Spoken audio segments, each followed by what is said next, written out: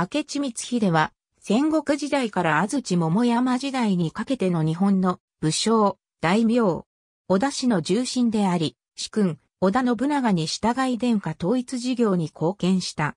生は源氏の時氏支流である明智氏に生まれる。父は、江戸時代の諸経図などでは、明智照綱、明智光国、明智光隆、明智頼明など小説がある。また、父親の名前も伝わらない低い身分の時支流とも言われている。光秀は自身の出自に関する証言はほとんど残していないが、小雲公最終異変類産初秋の会話上昔今六という記録には、天正5年に発生した幸福寺と東大臣の総論の奉行を務めた光秀が、我、先祖松室中説ゆえ、過分、二所地下下高氏ご藩後時期諸島所持、すれともと発言したことが記されている。この記述に従えば、光秀の祖先が足利尊氏に仕えてその書状を光秀が持っていたということになる。明智初代の明智頼重は足利尊氏、足利義明、足利義満の足利将軍家に仕えたとされる。青年、編集少年は信頼性の高い同時代資料からは判明せず、不詳である。ただし、後世の資料によるものとして、明智軍記などによる、協力元年説、及び、東大記による、永正13年説の2説がある。また、近年その存在が広く紹介されるようになった、津山藩森家の記録である、武家伝文録初秋の古今の武将高いの里氏では、去年70と記されており、逆算すると、永正10年となる。また、江戸時代には、大英6年生まれとする説もあったという。一方、橋実月は、金見狂気にある光秀の妹、向きについての記述から、光秀の少年は大幅に遅い天文9年以降と、推定している生の織田信長より、年下となる。生誕地、幼少期の土地、編集記事は、美濃国の明智層の明智城と言われる。少なくとも、美濃国あたりで生まれたことは事実であると見られている。この他に、大見国出生説もある。井上優は、江戸時代前期に刊行された、大見恩古録の記述から、光秀の祖先が、時氏に背いて、六角氏を頼り、大見国犬上郡で生まれた可能性を指摘。同郡の多賀町助目には、十兵衛屋敷跡と呼ばれてきた場所がある。岐阜県水波施設や口述する道県大垣市上石津町説を含めて出生地とされる地域は6カ所ある。青年期、編集青年期の履歴は不明な点が多い。光秀は美濃国の守護、時氏の一族で時氏に代わって美濃の国主となった斎藤道蔵に仕えるも、工事2年、道三、吉達の親子の争いで同産法であったために、吉達に明智城を攻められ、一族が離散したとされる。その後、光秀は、越前国の朝倉義景を頼り10年間仕えたとも言われる。越前国に在住していた傍将は、越前地付きの武士の服部七兵衛上宛ての天正元年8月22日付光秀書状がある。光秀の躍進、編集2016年時点で判明している限りでは、米田文書に含まれる針薬法が光秀の資料上の所見である。これは2014年に熊本藩細川家の家臣で医者だった米田貞義の熊本市にある子孫の自宅で発見された医学書で光秀自身が高島電柱老城の時に語った内容を含んでおり、永禄9年10月20日に米田貞義によって作成された写本である。その後の調査の結果、明智光秀が若き日に語った医学的知識を人づてに聞いた米田によりまとめられたものだと推測されており、出産や刀傷の対処法など、当時としては高度な医学的知識に関する記述などが見られ、この古文書を一般公開した熊本県立美術館は、光秀が信長に仕える前は医者として生計を立てていた可能性があることを推測させる貴重な資料だとしている。確定はできないものの、光秀の高島電柱老城の時は、永禄8年5月9日に、室町幕府第13代将軍、足利義輝が暗殺された直後であると考えられるが、前述の朝倉義景士官時代と重なる恐れがある。田中城は、現在の滋賀県高島市阿戸川町にあった古西から、越前方面へ向かう、交通の要衝で、かねてからここを拠点に活動していたと見れば、後の元気2年に、滋賀軍に領地を与えられるのも理解しやすくなる。足利義明との関係、編集その後、義輝の弟、義明が姉婿である、若狭国主後、武田義宗の下に逃れた。その直後から義明は、織田信長を含む各地の武将に上洛と自身の将軍擁立を促し、細川藤孝が死者に立ち信長は了承したが、当時は美濃国平定前であった。義明側は永禄9年4月に織田、斎藤両家の間に和睦を結ばせたが、信長がこれを破る形で同年8月29日に出兵したことで流れた。義明が信長に不信を募らせて、一旦見切りをつけ、さらに各地に援助を求め朝倉義景を頼ったことから、光秀は義明と接触を持つこととなった。しかし義明が上洛を期待しても義景は動かない。光秀は、義景は頼りにならないが、信長は頼りがいのある男だと信長を進め、そこで義明は、永禄11年6月23日、斎藤氏から美濃を奪取した信長に対し、上洛して自分を征夷大将軍につけるよう、前回の破綻を踏まえて、今回は光秀を通じて要請した。二回目の使者も、細川藤孝だが、信長への仲介者として光秀が資料にまとまった形で初めて登場する。この記事に信長の質化に縁があってしきりに誘われたが体録を与えようと言われたので、かえって躊躇していると紹介している。光秀の叔母は、斎藤道蔵の夫人であったとされ、信長の性質である濃姫が光秀のいとこであった可能性があり、その縁を頼ったとも指摘されている。また、いとこでなくても何らかの血縁があったと推定される。斎藤理事も抜して同様との指摘もある。大和田哲夫は、将軍、吉照の謹慎の名を記録した、永禄六年書薬人府、工芸院天美あたり三州並び足軽以下収穫に見える、足軽州、明智を光秀と開始、朝倉義景に仕えるまでの間、足軽大将として、吉照に仕えていたとする。しかし、永禄六年書薬人府は、記載された人名から、前半の義照期と後半の足利義明の将軍任官前の二部に分かれ、明智の記載があるのは後半部であり、義明時代から足軽衆として使え行為ではなかったとも言われる。なお、この足軽衆とは増票ではなく、行列などの際に徒歩で従う侍のことである。これは末尾に名字だけで記載され、当時の義明にとって光秀は取るに足りない存在だと伺わせる。室町幕府では時氏は三官令史式下に次諸下筆頭の高い価格で、十四士族も幕府方向州となり、時明智氏などは将軍家と結んで独自の地位を築いた。その方向州や戸様州などの行為についてきた時明智氏の家系に連なるものを形式的な伝統を重んじ価格に配慮する義明が足軽州に格下げして侵入させたことになり、時明智氏なのか疑問が持たれている。また、光秀を方向州、時明智氏と直接結びつけた、現存の系譜の信憑性に疑いを持って、時明智氏が事実だとしても、暴流出身であったとする説もある。ただし、現在残されている番長は、原本とはみなされず、足軽州、明智は、後世の追記と見る説もある。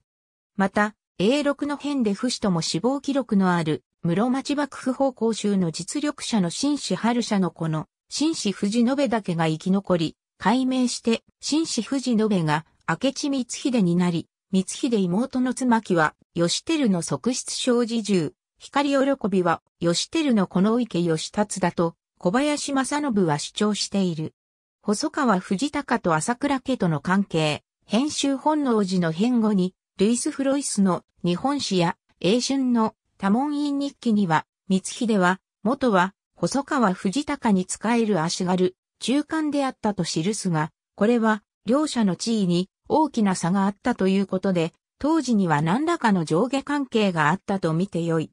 信長への士官の発力は、細川焼では500巻分で、朝倉家と同額としており、これは増兵ら約100人を率いて、馬に乗り10機くらいで戦う騎馬の身分であり、通説となってきた。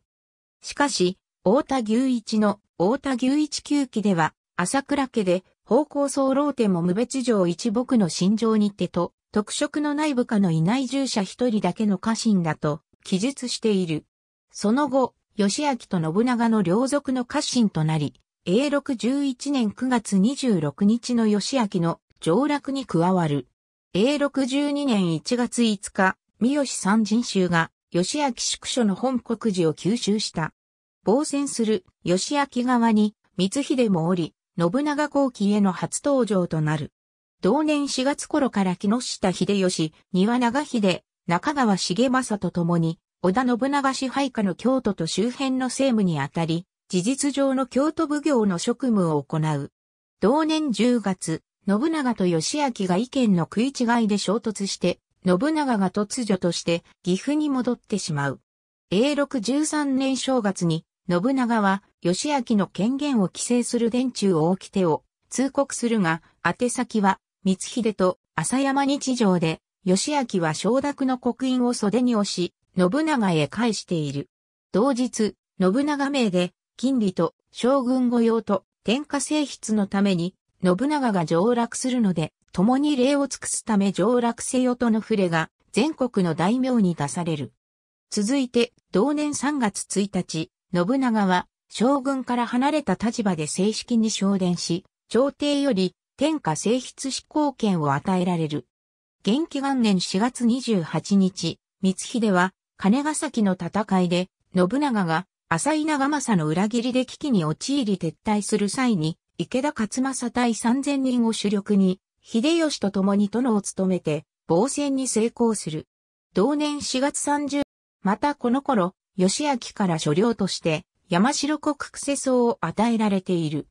同年9月の滋賀の陣にも参陣しているが、兵力は300人から400人と大きくなく、戦の小康状態の時に、宇佐山城を任され、大見国滋賀軍と周囲の土豪の怪獣策を担当した。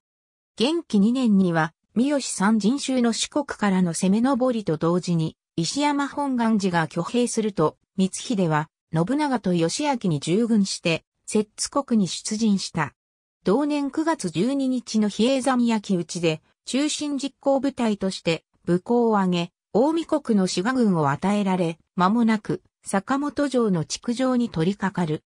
柴辻春六は、光秀と他の幕臣及び、小田家家臣との文書の連書状況や、滋賀軍の配慮が信長に没収された延暦事業の処理の一環として、佐久間信盛らと同時に与えられていることから、宇佐山城に入った時点の光秀の身分は幕臣であったが、滋賀軍を与えられたのを機に、小田家の家臣に編入されたと見る。同年12月頃に、義明に、先の見込みがないと、暇願いを出すが、不許可となる。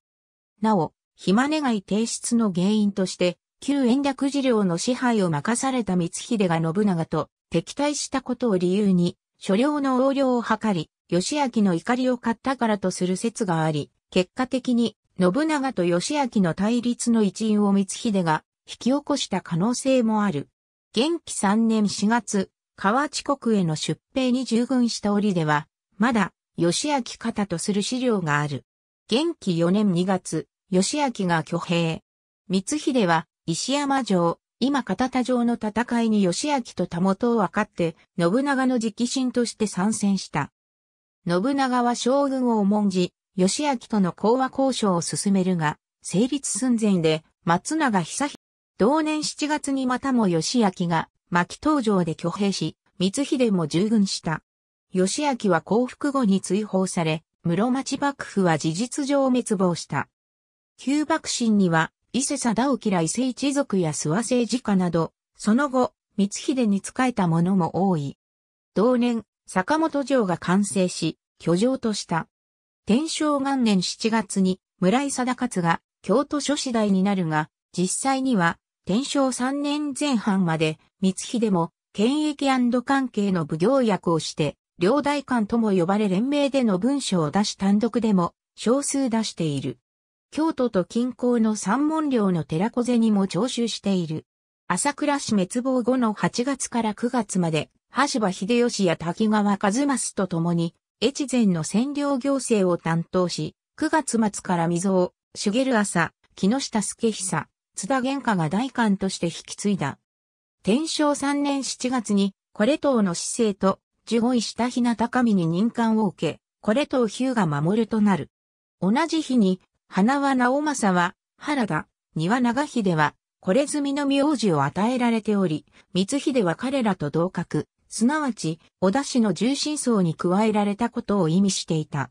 天正3年の高谷城の戦い、長篠の戦い、越前一行一騎戦滅戦に、光秀は参加する。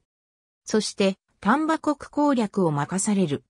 丹波国は山続きで、その間に国人が割拠して、極めて治めにくい地域であった。丹波国人は親義明派で、以前は信長に従っていたが、義明追放で敵に転じていた。ただし、丹波国人すべてが一致していたわけではなく、桑田軍鬱曹の鬱頼重や船井軍の内藤、長安は親、義明、反信長の姿勢を早くから示していたが、彼らと勢力争いをしていた船井軍の大畑栄春は、早くから信長に協力的で、光秀とも面識があった。また、桑田軍、今宮の川勝慶氏も、小畑の説得で小田方に転じていた。7月に入ると、まず光秀は、小畑、川勝の協力を得て、宇津頼重攻めを始めるが、途中で、信長より、越前、丹後方面への援軍を命じられて離脱したところ、8月には、宇津頼重に小田方の馬事城、余部城を攻められるなど苦戦する。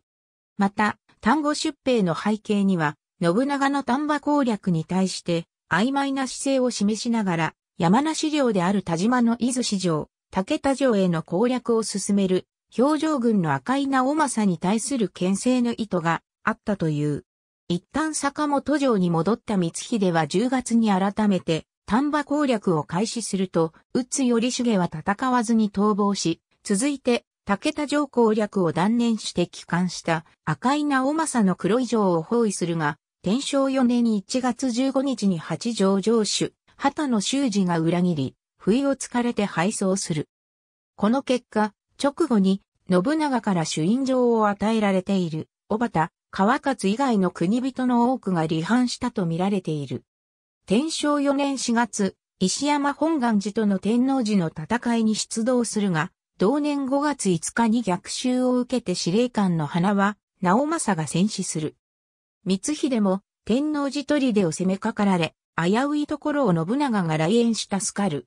23日には過労で倒れたため、しばらく療養を続けた。同年11月7日には、正室の広子が坂本城で病死する。この頃、光秀は余部城を丹波の本拠にしていたが、安定した本拠地として亀山に城を築くことを決めて、翌天正5年1月より準備を進めている。天正5年、奇襲祭風目に従軍する。同年10月、松永との市議案。同月に丹波攻めを再開して、翌月には、もみ以上を落とすが一時的なもので、以降は長期戦となる。そして難敵となった八条城を包囲し続け、その後も丹波攻めと各地への転戦を往復して繰り返す。天正6年3月に、表情軍の赤い直政が病死すると、再度丹波に出陣して、その部城の荒木氏綱を降伏させるが、4月29日には、毛利攻めを行う秀吉への援軍として、播磨国へ派遣され、同年6月に、寒気城攻めに加わる。ところが9月に入ると、丹波国人の大規模な反乱が発生して、亀山城防衛の用地であった馬堀城までも一時占拠され、光秀は急遽亀山城に入ると奪われた城を奪回した。同年10月下旬、信長に背いた、摂津の荒木村重を攻めて、有岡城の戦いに参加する。ところがこの段階では、亀山城は完成しておらず、村重の乱を知った、旗野軍は一時八分上城を包囲する明智軍に構成をかけている。光秀の三女、卵と細川忠興が昇竜事情で結婚する。主君、信長の構想に基づく命令による婚姻であったことに特徴がある。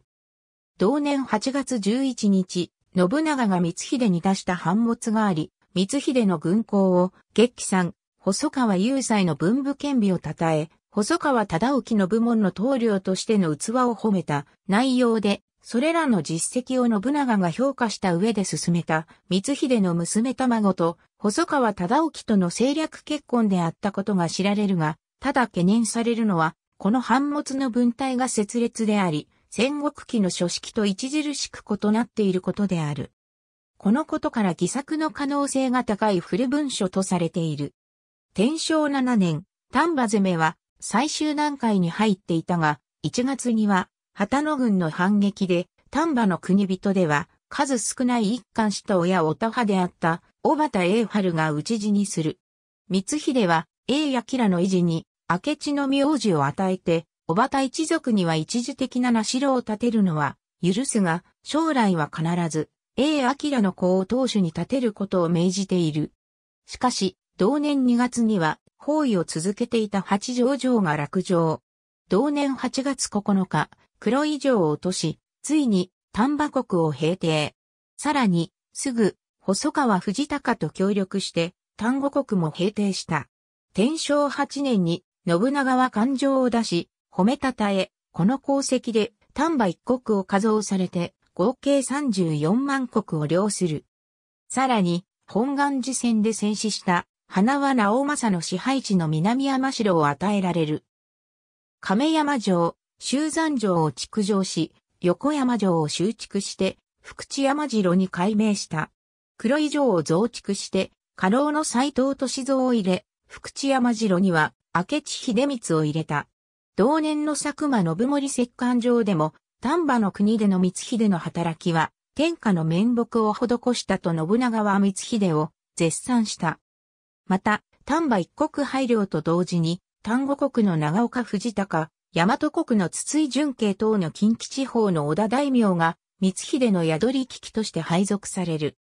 これにより光秀支配の丹波、滋賀郡、南山城を含めた、大見から山陰へ向けた機内方面軍が成立する。また、これら宿り機器の所要を合わせると240万国ほどになり、歴史家の高柳浩二は、この地位を関東関連になぞらえて、近畿関連と名付けている。同年10月、信長は、光秀らを大和県知奉行として奈良に派遣しており、これと関連する津田早急の書状が残っていて、光秀と早急の親しさが確認できる。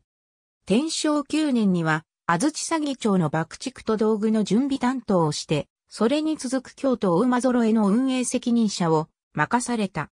同年6月2日、小田家にはなかった軍法を光秀が家法として定めた明智家法後書きに瓦礫のように落ちぶれ果てていた自分を召し出しその上、莫大な人数を預けられた。一族家臣は子孫に至るまで、信長様へのご奉公を忘れてはならないという信長への感謝の文を書く。さらに、翌年1月の茶会でも、床の間に信長自筆の書を書けるとあり、信長を崇敬している様子がある。同年8月7.8日に、光秀の実前鍵前のおつまきが死去し、光秀は、比類なく力を落とした。公家等の日記に、つまき、向きは参見する。これら、多門院日記他の向き、つまきの各自が同一人物なのか全く不明である。多門院日記には、おつまきは信長の一段の清とあり、歴史学者の勝又静雄は、一段の清を一段の清として、光秀の妹は、信長お気に入りの側室で、その死去で光秀の孤立化が進み、本能寺の変の縁因となったとの説を立てている。だが、一段の清を安土城の奥向きを束ねる地位にいた、とする見解もある。同年12月4日、明智家中八都五家城を制定。大きくなった家臣団へ、小田家の宿老、馬回り衆への儀礼や、竹との口論禁止及び喧嘩の現金と違反者即時、成敗、自害を命じている。天正10年3月5日、武田氏との最終戦である甲州征伐では信長に従軍する。先行していた織田信忠軍が戦闘の主力で、今回は見届けるものであり、4月21日に帰還する。詳細は本能寺の変を三章本能寺焼き討ちの図天正10年5月、徳川家康共王役であった光秀は任務を解かれ、橋場秀吉の毛利征伐の支援を命ぜられ、同年6月2日早朝に出陣する。その途上の亀山城内か芝の付近の陣で、光秀は重臣たちに信長討伐の意を告げたと言われる。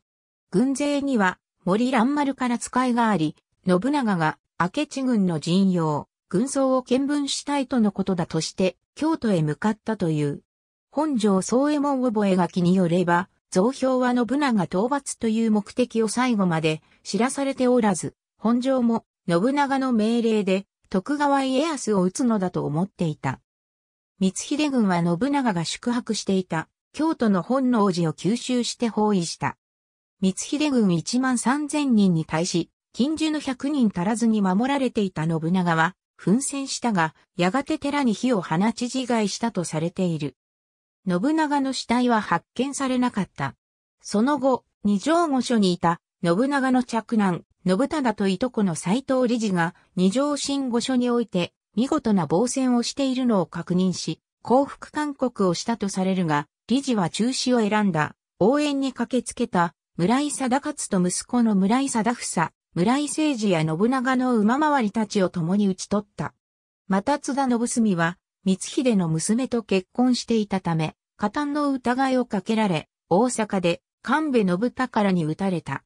最強寺にある明智光秀とその一族の墓詳細は、山崎の戦いを参照光秀は、京都を抑えると、すぐに、信長、信忠不死の残党追部を行った。さらに、信長本拠の安土城への入城と近江を抑えようと、するが、瀬田城主の山岡景隆が、瀬田橋と居城を焼いて、大見国甲賀軍に退転したため、仮橋の設置に3日間かかった。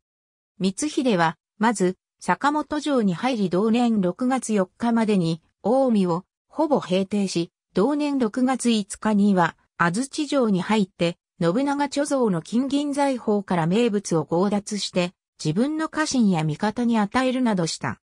同年6月7日には、実人親王は、吉田兼和を直使として、安土城に派遣し、京都の治安維持を任せている。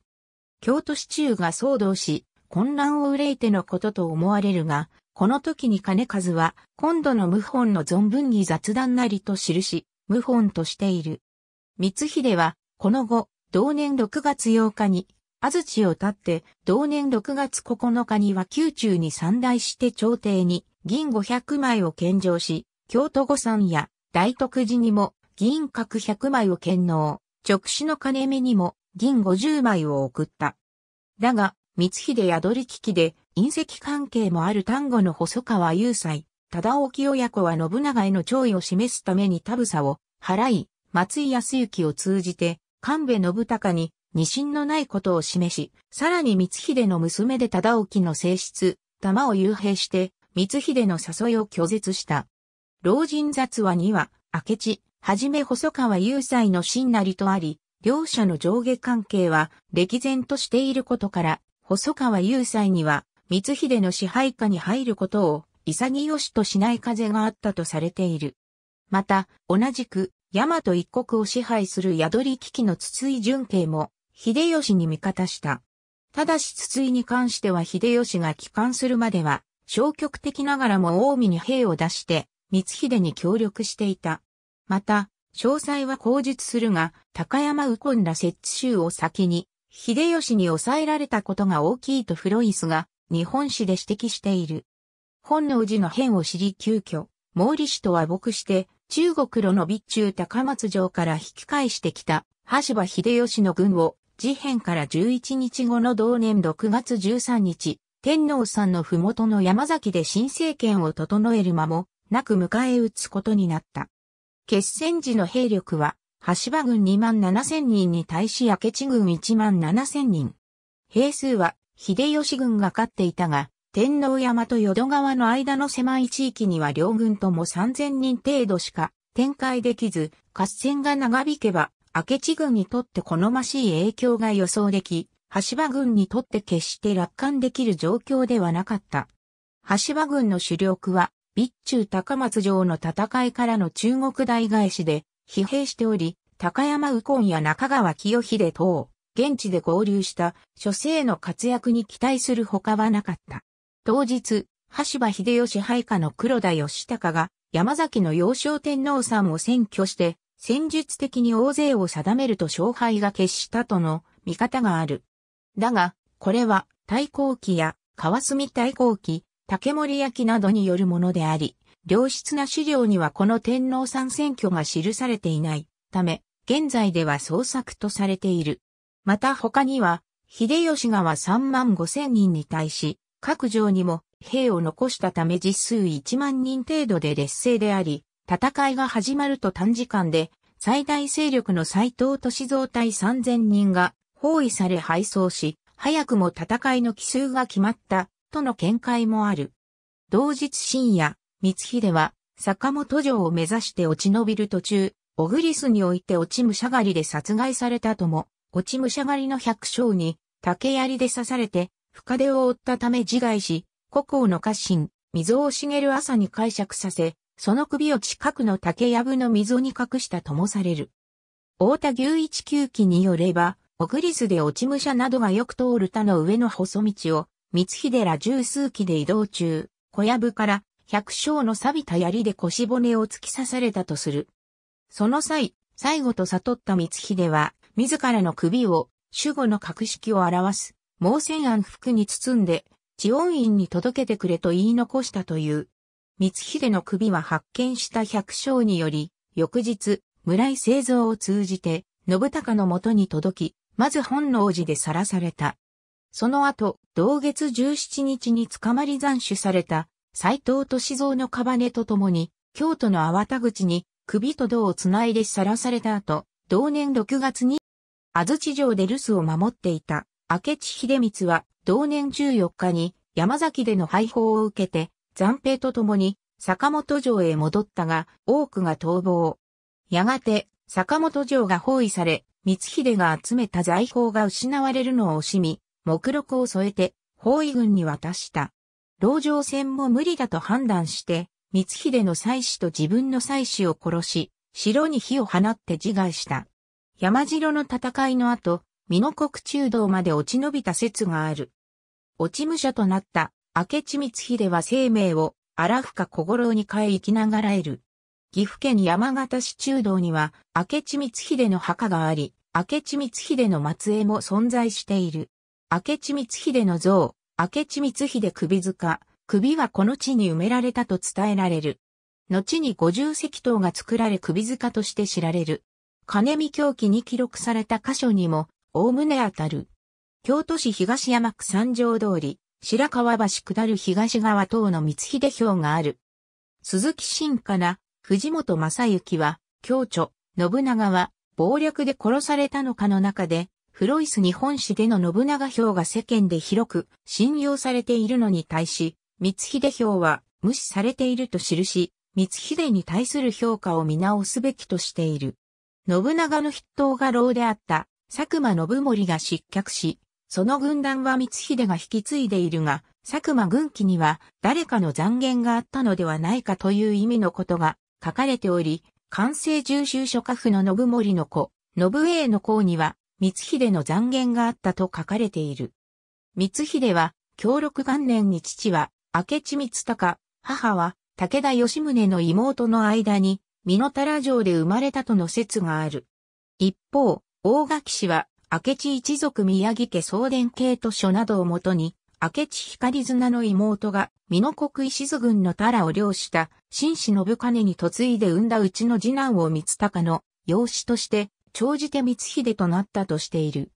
20歳くらいの頃、芥川で光秀は大黒天の像を拾った。それを見た家臣が、大黒を拾えば千人の頭になれるそうですと述べて、喜んだが、光秀は、ならばこれは必要ないと捨ててしまった。驚いた家臣が尋ねると、わしは千人の頭になることくらいで終わるつもりはない。もっと大きくなると述べて大使があることを示したという。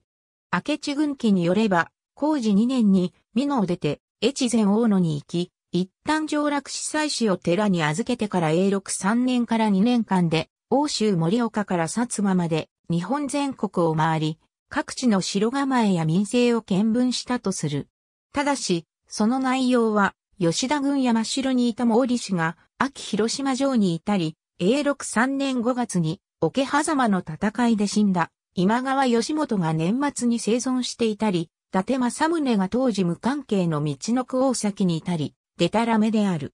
流浪時代に、毛利元成に士官を求めた際に、元成は、最地名便、勇気あまりあり。しかし僧帽、狼が眠るに似たり、木戸の骨高く起こり、その心身常に静かならず、と言い断ったという。永禄五年に、加賀で浪人していた光秀は一向一揆と戦う、朝倉景行の軍主として参戦した。一揆の動きを見た光秀は傾向に対して、幼稚に備えるべきと進言した。多くの者は、飛び入りの光秀を快く思わず意見を聞き流したが、景行のみは、半信半疑ながらも幼稚に備えた。すると光秀の進言通りに一揆が幼稚をかけてきたが、備えを敷いていた朝倉軍は一気に対象した。傾向は、光秀の慶願と非凡な器を知り、光秀に吉影への士官を進めたという。鉄砲の名手で朝倉吉影に士官した際、一尺四方の的を25件の距離から命中させたという。当時の火縄銃や弾丸の性能を考えると驚異的な腕前である。その他にも飛ぶ鳥を撃ち落としたという逸話もある。光秀は大力の持ち主であった。馬上で立ち打ちとなった時、光秀は相手の馬の倉橋を引いて切って捨てた。また、家臣が敵に組み敷かれているのを見た光秀は、敵の兜の兜を掴んで引き倒したという。ある合戦で退陣中の光秀の下に、塩瀬三右衛門という者が、陣中見舞いとして、光秀の好物を持参した。光秀が喜んで食べていると敵軍の時の声が聞こえてきたため、光秀は慌てながら、残りを急いで食べると指揮を取った。あまりの急ぎぶりに光秀の口周りは汚れたままで、これを見た家臣は、どのほどの味方でも心遅れされるとは、無様なものよと呆れたが、心ある者は、名称となる者は、軍のことのみを心がけており、寝食など忘れる者。殿は食事などこだわらず、軍に心を委ねている証であると述べたという。夫婦仲は、非常に良かったとされ、結婚直前に放送にかかり、左方にその跡が残ってしまった広子を、光秀は気にせずに迎えた、工事2年、斎藤義達によって、明智城が落とされると、光秀は、身重の広子を背負って、越前へ逃亡したなどの逸話がある。愛宕百院の際、愛宕神社で異中のくじが出るまで三度おみくじを引いたと伝えられている。ただし、みくじを3度引いて三角に置き、銭を3枚放り投げて1枚だけ表裏異なる、位置のみくじを真意として読むという適戦法による占いは当時は一般的に行われていたものであった。本能寺の変で信長を撃った後、光秀は京原部に対して、信長は陰の中央であるから撃ったのだと、自らの大義を述べた。しかし京原部や町衆は光秀が金銀を贈与していたから表面上は信長殺しを称賛したが、心の中では、ヒューが守るは斧神を武王に比している。少子千万、肩払いたいと軽蔑していたという。信長後期や秀吉の書簡、日記などの文書資料にはない、光秀を指したという百姓の名前が、江戸時代の随筆に2名登場するが、信憑性はない。最強寺にある、明智光秀公自世区の石踏み、光秀の自生とされる下訳が残っているが、いずれも後世の編纂物によるものである。本能寺の変山崎の戦い関連、編集出生関連、編集光秀は、美濃の明智氏の出身とされるが、前半生が不透明なこともあって、以下の出自説が存在する。愛宕百院とは、光秀が本能寺の変を起こす前に、京都の愛宕山で開催した蓮華会のことである。光秀の北区、字は、今雨が下しる5月なりをもとに、このレンガ界で光秀は、謀反の思いを表したとする説がある。字を、時、雨が下しるを、雨がした汁の偶意であるとし、時氏の一族の出身である、この光秀が、天下に号令するという意味合いを込めた句であるとしている。あるいは、雨がした汁というのは、朝廷が天下を治めるという王道を民思想に基づくものとの考えもある。また歴史研究者、津田勇の説では、5月は、持ち人王の挙兵、上級の乱、現行の乱が起こった月であり、いずれも、関竹平氏を倒すための戦いであったことから、兵士を称していた信長を撃つ意志を表しているとされる。しかし、これらのレンガは奉納されており、信長親子が内容を知っていた可能性が高い。また、愛宕百院後に、岩見国の国人、福谷高金に、光秀が中国出兵への支援を求める書状を送っていたとする資料が近年発見されたことから、この時点では謀反の決断をしておらず、謀反の思いも表されていなかった。なお、このレンガに光秀の謀反の意が込められていたとするなら、北区だけでなく、第二区水上勝る、庭の松山についても合わせて検討する必要があるとの主張もある。まず、水上勝るというのは、光秀が、源氏、信長が、平氏であることを前提に考えれば、源氏が勝るという意味になる。庭は、古来、朝廷という意味でしばしば使われている。松山というのは、待望しているという時の上等句である。したがって、この第二句は、源氏の勝利することを朝廷が待ち望んでいるという意味になるという解釈がある。橋場実月は、明智光秀残虐と謀略の中で、第23区のクズの葉の乱るる。ろや玉ならんのクズの葉が、恨みイコール恨みイコール不平、不満を表す言葉である。ことなどに注目し、信長との方針の違いが歌に込められている。と解釈した。詳細は本能寺の変変の要因を参照エリン寺を焼こうとするのを諌めた光秀を打ち据える信長八条の上兵、光秀の老母を残罪にする、図本能寺の変で、なぜ光秀が信長に謀反をしたのか、様々な理由が指摘されているが、確固たる原因や理由が結論として出されているわけではない。以下に現在主張されている主な説を記す。怨恨説主君の信長は短期かつ苛烈な性格であったため、光秀は常々非常な仕打ちを受けていたという説。以下はその代表例とされるもの。野望説、光秀自身が天下統一を狙っていたという説。この説に対しては、地匠とされる光秀が、このような謀反で天下を取れると思うはずがないという意見や、相手の100倍以上の兵で奇襲できることは、信長を殺すのにこれ以上ないと言えるほどの機会であったという意見がある。高柳工事長、明智光秀はこの説を採用している。恐怖心説長年信長に仕えていた、佐久間信盛、林秀貞たちが追放され、成果を上げなければ、自分もいずれは追放されるのではないかという不安から、信長を倒したという説。これは、怨恨説など、諸説の背景としても用いられる。もしくは、今までにない新しい政治、軍事政策を行う規格外な信長の改革に対し、光秀が旧体依然とした統治を重んじる考えであったという説。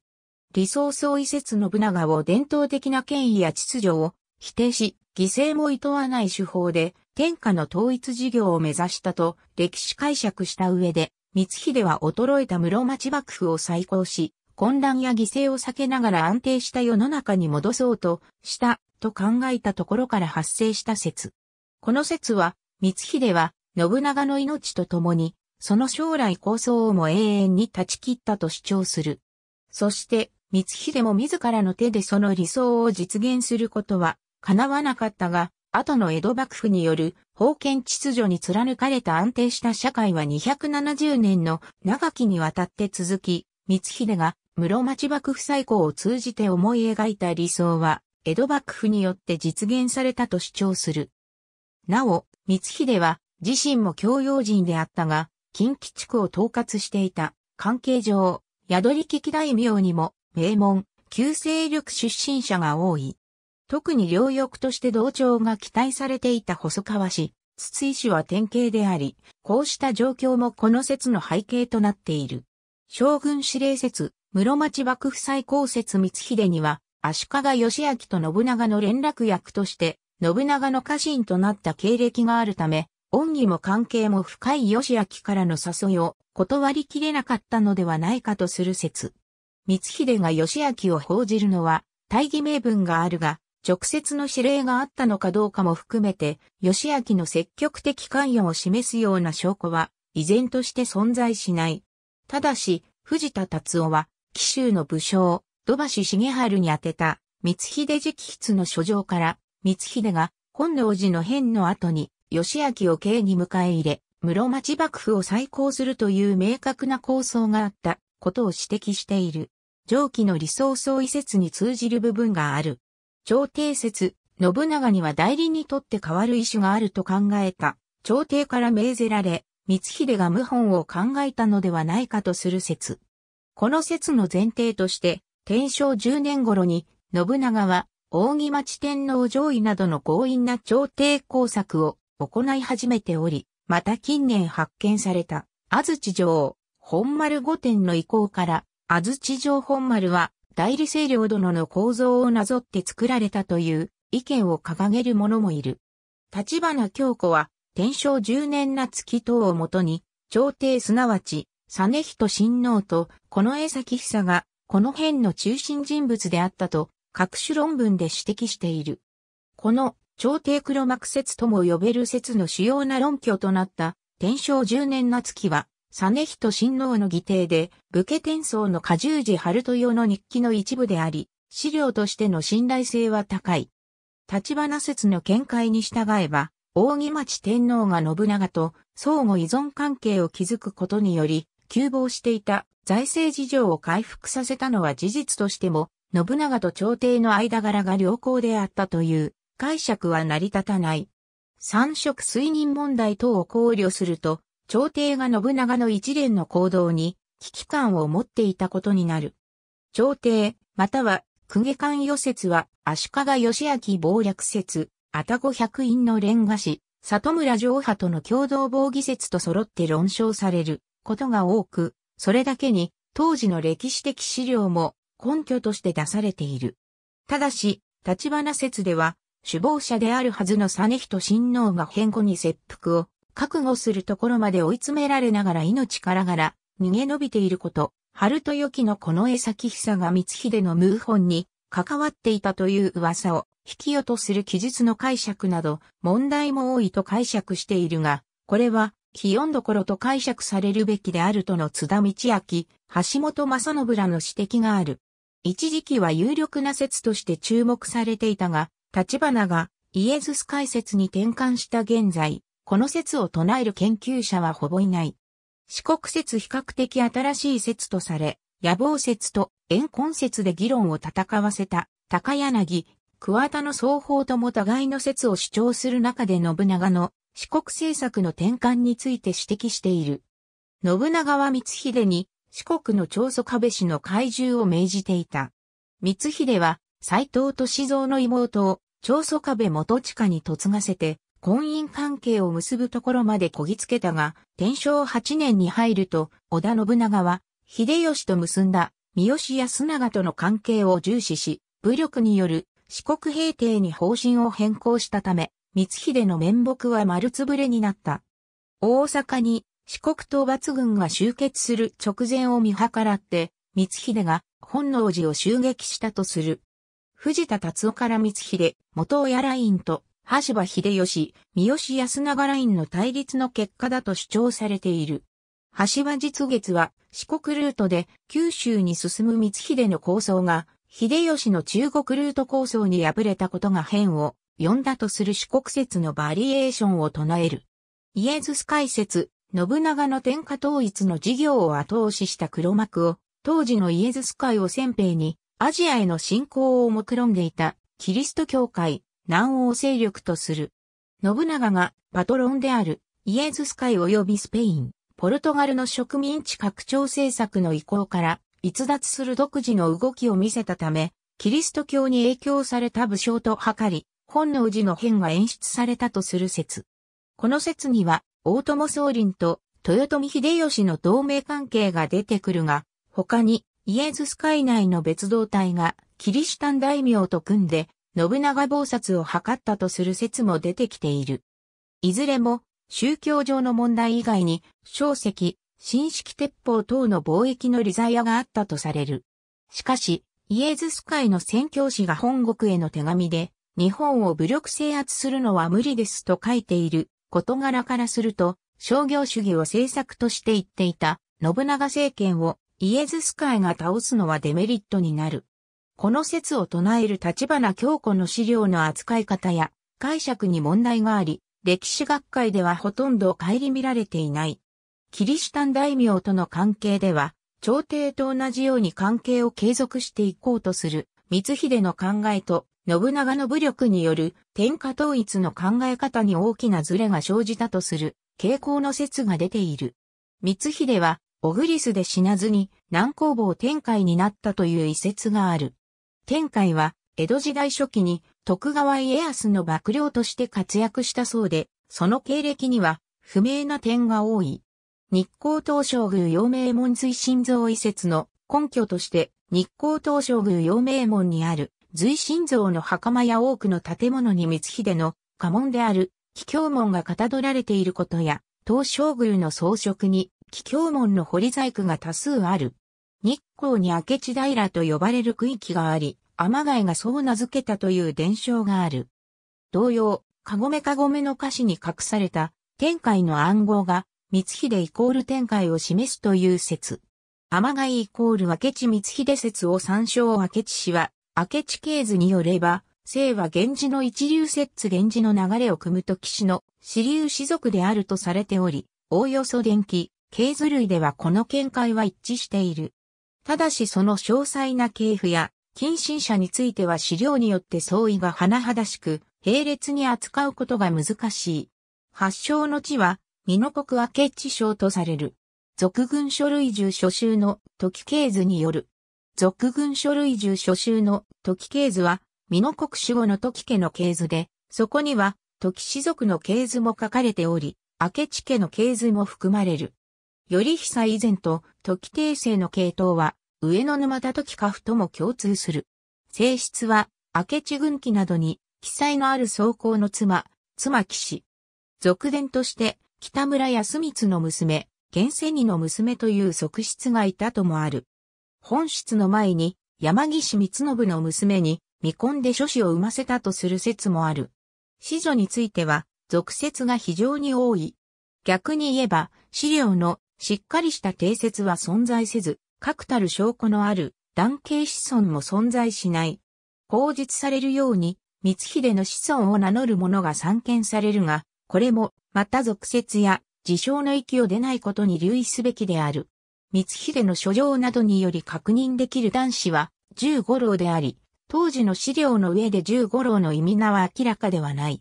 おじおば重慶帝、山崎の戦いで明智家は滅んだとされるため、確証のある光秀の子孫は竹へ嫁いだ、光秀の娘たちの女系子孫たちである。細川忠興へ嫁いだ玉の子孫は、細川家のほか、令和の皇室にもつながる。細川や、編集、光秀の娘、玉と細川忠興の間に、忠高、忠俊、タラなどが生まれる。皇室、編集、明智光秀の九代後の子孫である。任皇天皇と十代後の子孫である、扇町政子の間に、孔明天皇が生まれている。竹竹、編集、小田家信正慶翔と流、編集、光秀の娘と、津田信澄の間に翔となどが生まれる。翔とは、大阪の陣で豊臣方に加わるが除名され、後に、旗本となり家を残す。